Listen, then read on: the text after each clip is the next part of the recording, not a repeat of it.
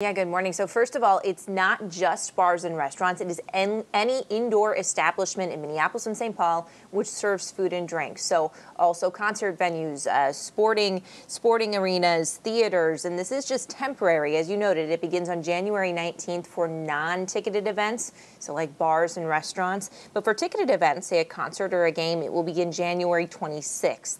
The move has received criticism from cer certain trade groups who point out this puts the burden of enforcing the measure on businesses. Here's what one restaurant owner told us about that.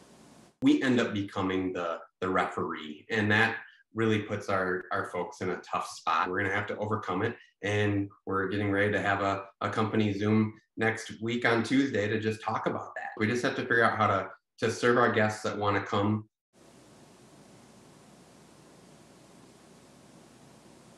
Minneapolis has not said when this temporary policy will end. St. Paul, meanwhile, will revisit all this in 40 days. And another area where the two cities differ in this policy is who is exempt. So in St. Paul, anyone under the age of five is exempt. So anyone basically who is not eligible yet for a COVID vaccine.